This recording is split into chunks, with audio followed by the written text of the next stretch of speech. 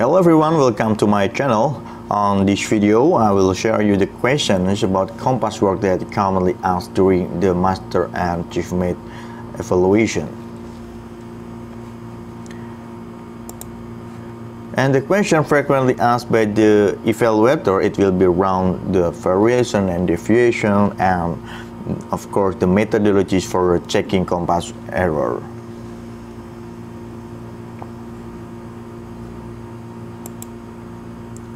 Okay, let's go to the sample of the question. Where you get the compass deviation from and where you get the variation from? Well, we get the deviation from the compass deviation card and then the variation we get from the chart on the compass rose.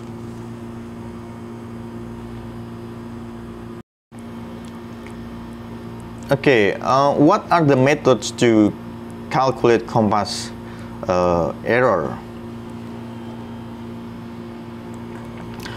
Okay, uh, we can use uh, transit bearing with two objects to find the compass error. Compass error also can uh, be obtained by using transit bearing using uh, leading light.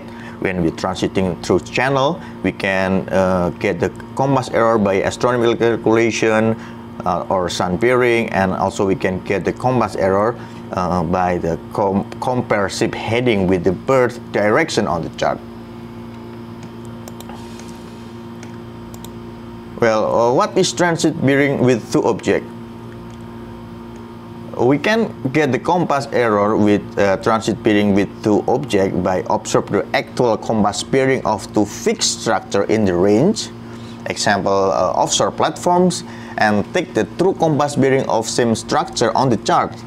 And then the difference is the compass error. Remember the compass base error west and the compass least error east.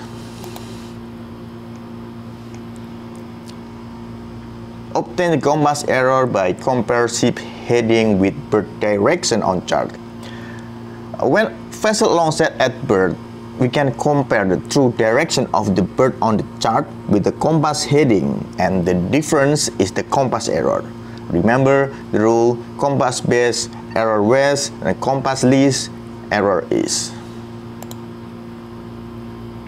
Transiting bearing using a leading light.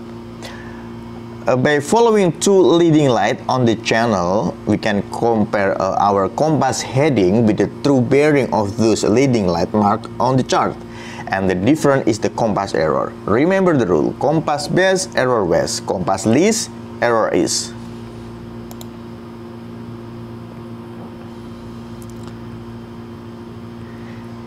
And then for astronomical calculation, the fastest way to get the compass error is by the amplitude of the sun. How to do it? Uh, take compass bearing of sun when sunset or sunrise and then go to the almanac with date and time, get the declination and calculate use formula.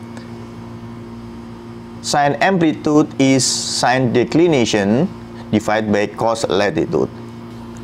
Simply calculate the amplitude angle and compare it with the observed compass bearing and we get the compass error. Okay, next sample question. You are given by the following information. Vessel position, the latitude 28 degrees 00 minute north, then longitude 040 degree 00 minute east, and the sun declination is at 21 north. Question, what is the true bearing of the sun at sunset and sunrise? Well, remember the sine amplitude is equal to sine declination divided by cosine latitude. So the declination is 21 and the uh, latitude is uh, 28. So uh, sine 21 divided by cosinus 28, uh, we get 0 decimal 40587 and then the amplitude is equal to inverse sine of uh, 0 decimal 40587 and then we get the amplitude is 23 decimal 9 degree.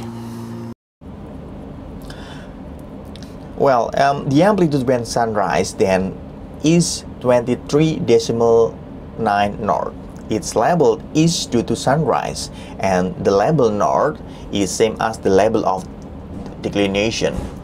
Please see on the left bottom table.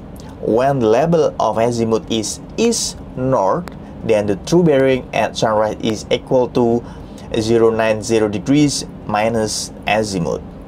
090 degrees minus the azimuth is uh, 23 decimal 9 degrees so the true bearing when sunrise is 66 decimal 1 degree.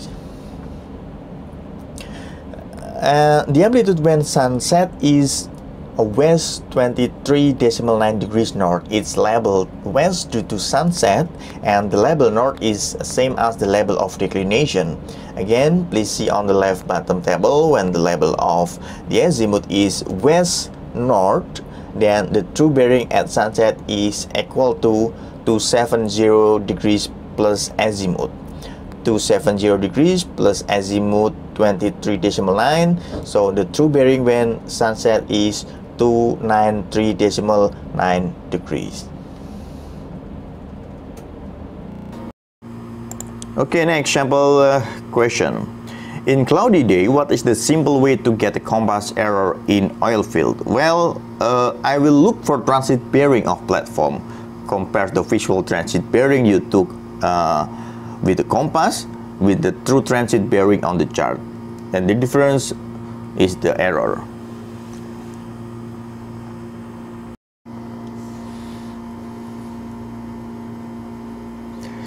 Okay, next sample question. The variation is 3 east and deviation is 4 decimal 5 west. What is the compass error?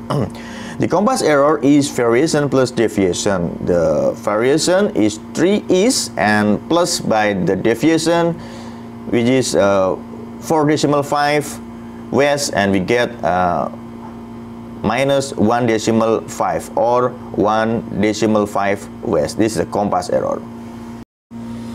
Okay, next example question the magnetic compass reading is 245 degrees and the variation is 2.5 degrees west.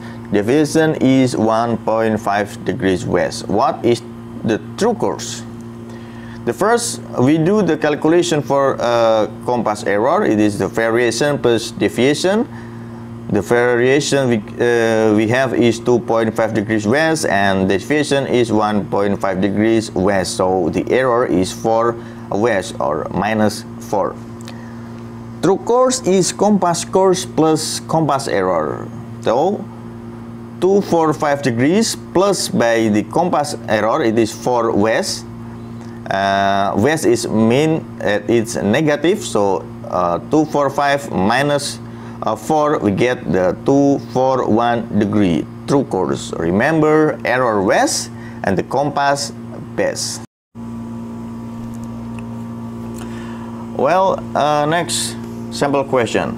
You are alongside at Tanajib bird number 4 and you need to calculate the compass error. What you will do? You are port side alongside. Well, I will check on the chart and the Tanajib bird is a 270 degree true heading and then go to your compass and read the compass directly and see how much it show and then compare it with the true heading on the chart which is uh, 270 degrees and then the difference between the true heading on the chart and your compass heading is the compass error.